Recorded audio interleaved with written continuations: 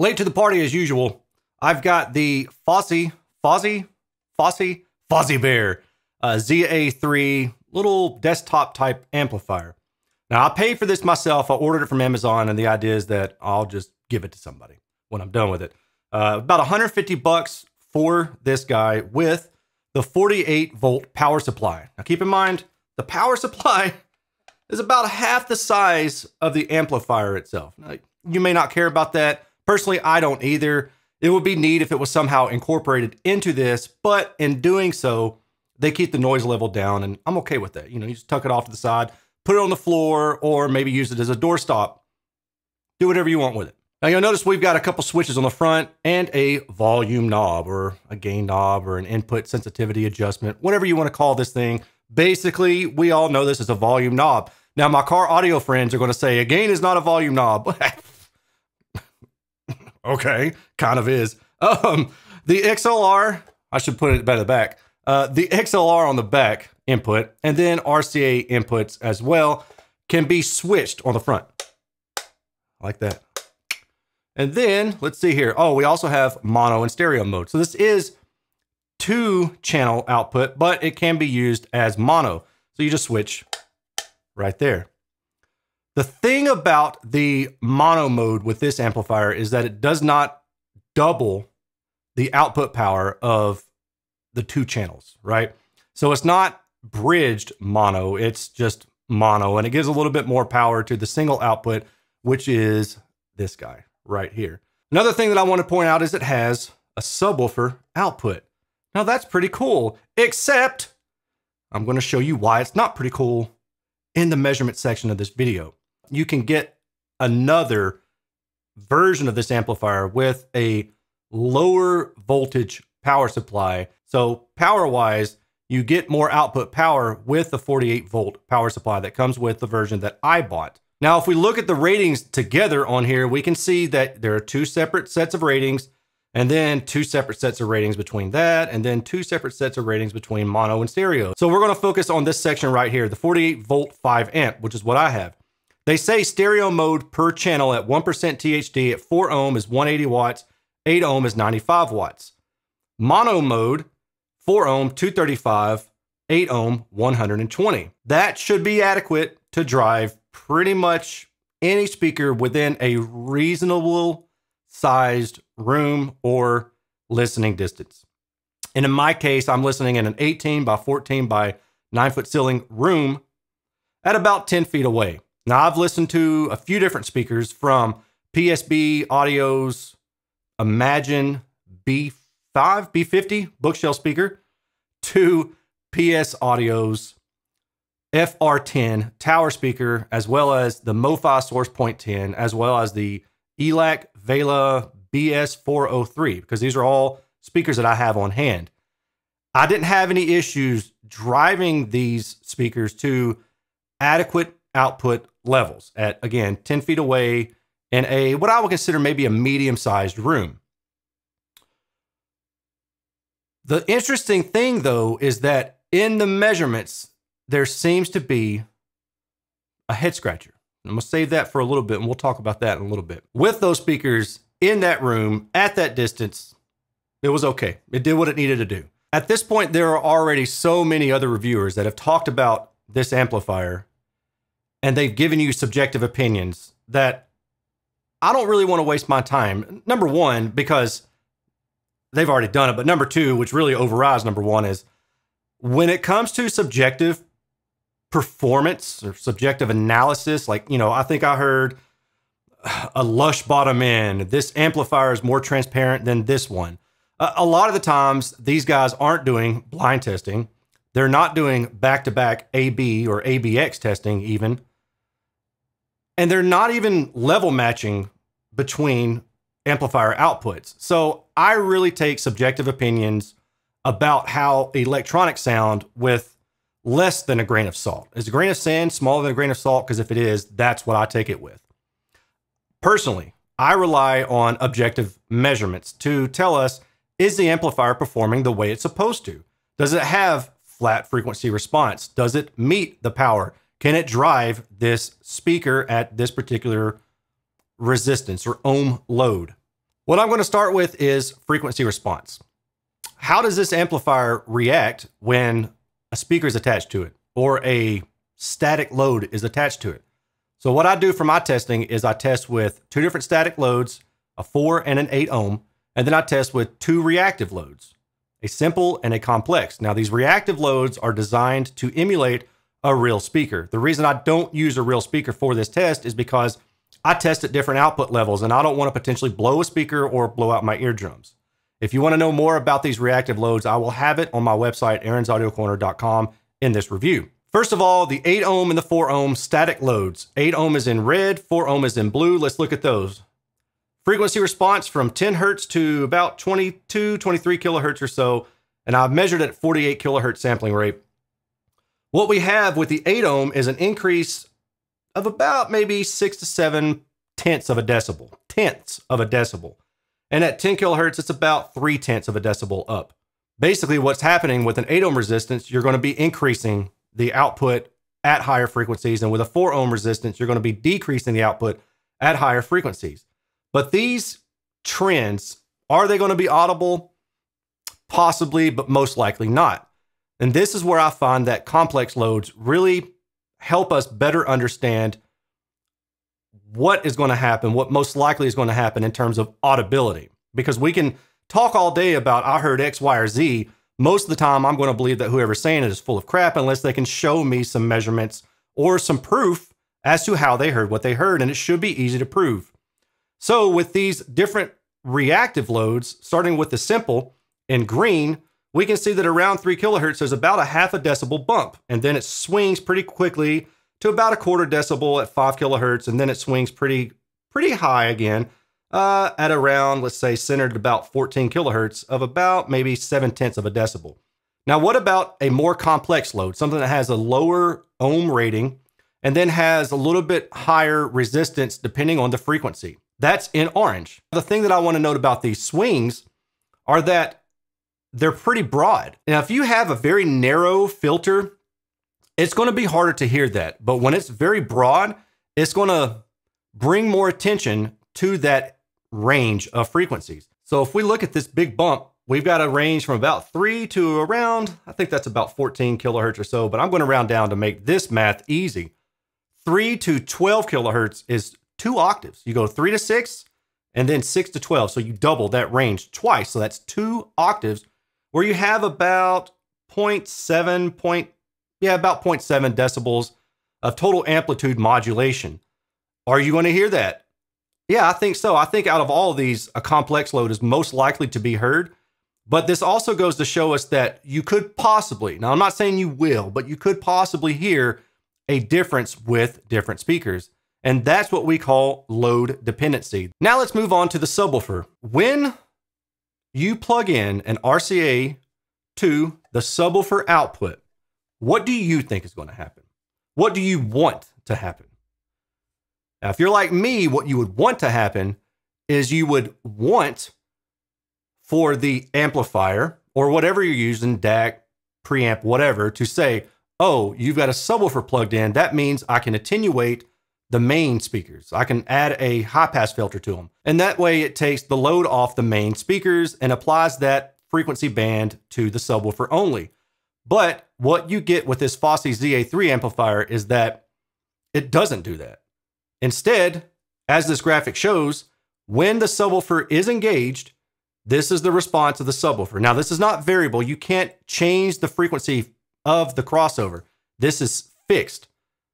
It goes down about negative 3 dB. Is it about, let's say, 180 hertz or so? As you can see in the red line, this is the response of the speaker outputs when the subwoofer is engaged. And notice this is flat all the way down to 10 hertz.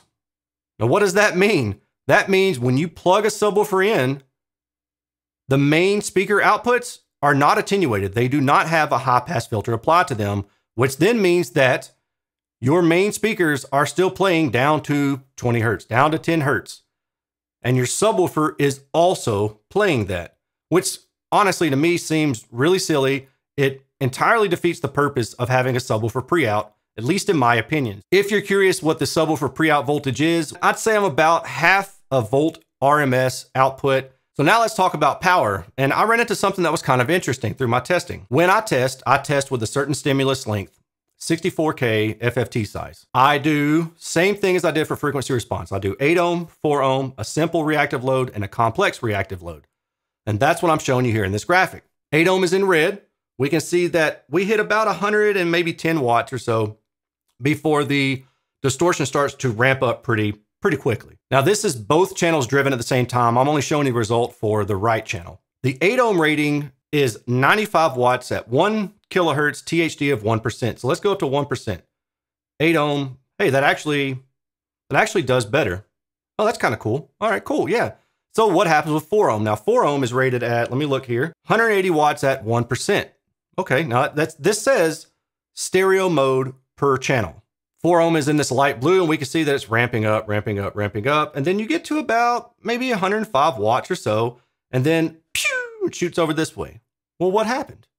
It went into protect. So why is it only 105 watts? Well, I thought that was really weird. I mean, like, it's supposed to be 180 watts. I've seen somebody else's measurements that show that it definitely goes above 105 watts at 4 ohm with both channels driven. So what's up with that? Huh, I don't know. Well, then I started doing some investigation, and it took me about two days to realize what was going on. But let me show you. If you test with a different stimulus length, and in this case, it's about 8K stimulus length or 8K FFT, the difference between 8K and 64K is basically 8K would be like boop, boop, boop, and it just go boop, boop, boop, and it's pretty quick. With 64, it kind of hangs on to that stimulus a little bit longer, so it's like boop, boop. All right. So like it's like that, right? That's ridiculous. Anyway, I hope you get the point. So with that said, let's look at 4 ohm now with a shorter stimulus length. 4 ohms, same color in this light blue. And look, it, it, it ramps up and we get to about maybe 150 or so or something like that uh, before it ramps up and hits that knee. And then at 1%, I'd say we're probably maybe like 160 or so. So it's it's kind of close to their rating. But it's interesting that now with a shorter stimulus length, I'm hitting close to what the manufacturer says. But with that longer tone, I'm definitely not, and it goes into protect and the amplifier shuts down. So when you're comparing my results to other people's results, maybe keep that in mind. What happens if I switch this thing over to mono mode? At 8 ohm, I'm hitting about, I don't know, maybe 115 or so watts, I guess. And then at 4 ohm, it's hitting about 190 or so. Now they say the 4 ohm rated is 235 at 1% THD. Yeah, maybe I'd give it to them. I mean, that's kind of close. And at 8 ohm, the rating is 120 watts at 1% THD. In the audio industry, it's very common for people to test with just one tone to figure out maximum power. And the THD versus frequency and the THD versus power that you've seen me talk about before, it's almost always with one kilohertz. That's just how it's done. What I like to do is kind of go a step beyond that. So what I'll do is I'll test at low power with a one kilohertz tone, and then I'll implement a multi-tone signal into that and see if I'm achieving the same power. Then I ramp the output up until I get to close to rated power with a single kilo, one kilohertz tone. And then I'll do a multi-tone with that and see, am I getting the same power or am I getting less? Now with the NAD C3050, that worked out. I was getting the same power, which means that the power supply was very robust and it could deliver the same amount of power across all sorts of frequencies as it could with just one tone. That's what you want. Their rated power is 95 watts at 1%, which actually I achieve better than that, but I'm going to go to that point and we're going to see what happens. But first, what we need to do is do a low power sanity check. Pay attention up here. So this is going to be the input stimulus 100 millivolts RMS into the amplifier. And this is going to be the power out at 8 ohm. I'm going to hit run for a 1 kilohertz tone, and I get 1.2 watts output right here at 8 ohm. So now if I switch over to multi-tone with that same input, I want to get the same power that we just got. Oh, cool, 1.22 watts. So basically the same power that we just got. Now what this tells me is that at lower power, regardless if I'm feeding it just a single tone or a slew of tones like maybe music would have, then it achieves the same power output. Now, if I ramp this thing up to a, a point where it hits about 95 watts or so, 95 watts at 2 dBV or 1.25 volt RMS. So I'm gonna take 2 dBV and I'm gonna type it into multitone, 2 and I want to hit, remember, 95 watts. Let's see, do we do that? Ooh, I lost, and now we're down to 77. So I've lost about 18 watts at 8 ohm. All right, okay, all right. So we did lose power with an 8 ohm load. All right, so now what I'm to do is I'm to do all this with a 4 ohm load. Now, if we go back to the graphic that I showed you earlier, where it just kind of dies around about 105 or so watts, I'm going to show you exactly what I'm talking about first, okay? Okay, I'm at 60 watts with about 0.7 volts input. Pay attention here because something funky is about to happen. I'm at 75 watts, 93 watts. Okay, cool. Oh, what happened? The signal just dropped off. The amplifier went into protect. And now what I'm going to have to do is reset the amplifier. So hold on. All right, I'm at about 94 watts with a 1 kilohertz tone, and I'm going to switch it over to multi-tone using the same input voltage. So let me turn this off. Turn this to minus, I'm to start with minus 3. I'm to walk into it. Not, minus 1 is where I need to be to get 95 watts. All right, minus 3, I'm at 57. Now, minus 2, what happens? 71. All right, so now I'm gonna go to minus one. It needs to be 95. Minus one, 86. So I'm about nine watts or so off from the point where the amplifier went into protect maximum output, which was 95 watts. Still, it shouldn't have gone into protect. It should have been able to deliver more power. They rate this at 180 watts per channel in stereo mode at 4 ohm, and I was able to achieve about half of that, which closely aligns with this value. So to recap what I just showed you, at 8 ohm, both channels driven, the maximum that I went up to was 95 watts because that's what they rate this at. When I applied multitone, I lost about 18 watts. When I try to do the same thing with a 4 ohm load, I cannot achieve the maximum power that they rate this at. Now, the truth of the matter is that these measurements give us insight into the fact that the amplifier doesn't do what it's supposed to do for the 4 ohm static load, but I used four different speakers of varying sensitivity and varying complexity in their overall impedance presented to the amplifier. And I was able to drive them without going into protect and to get loud enough levels where I was satisfied in a medium sized room at 10 feet away. I think my main issue as far as real world goes, I mean, outside of the measurements, right? Outside of the measurements and it kind of having issues with 4 ohm load, my main issue is the subwoofer output. I don't know why in the world anybody would have a subwoofer output and not high pass the mains.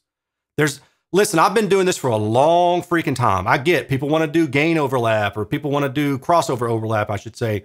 and and it gives them the sense of look. You can even argue that we can talk about distributed bass modes and things like that, but that's that's horse hockey. The purpose for having a subwoofer is to alleviate the load of your mains. So when you plug in a subwoofer, I want to see a high pass filter implemented. So that's my request to Fosi. That's my time with the Fosi. My overall recommendation is if, you know, like biggest issue, subwoofer output, 150 bucks. Maybe you want to buy it. I don't know. If you do still want to buy it after watching this review, I will have an affiliate link in the comment section below. Feel free to use that. It helps me out with a small commission. It's like 4%. So Four times 15 is I can't math, but maybe six bucks or so is what I would earn off of it. Uh, you don't have to buy it. Personally, if you can swing the WiiM Amp, I would go that route, but I realize they're not the same thing. The WiiM Amp has streaming and HDMI built into it and all that stuff. For double the price, it's definitely worth it. But if you're really looking for just a small desktop amp, this will do the job. Just don't plug a subwoofer into it thinking you're going to high pass the mains. I know I'm harping on that, but it's probably like one of the most annoying features that I've ever seen somebody implement into an amplifier that has subwoofer output. It just seems silly to me. So that's my honest take. And if you don't like it, let me know in the comment section below. I'm sure you will. I will talk to y'all later. Oh, and if you want to join me at patreon.com, please do so. Uh, that helps support me, helps me keep this channel going, helps me afford to buy these kind of things to test. And I will talk to y'all later. Take care. Peace.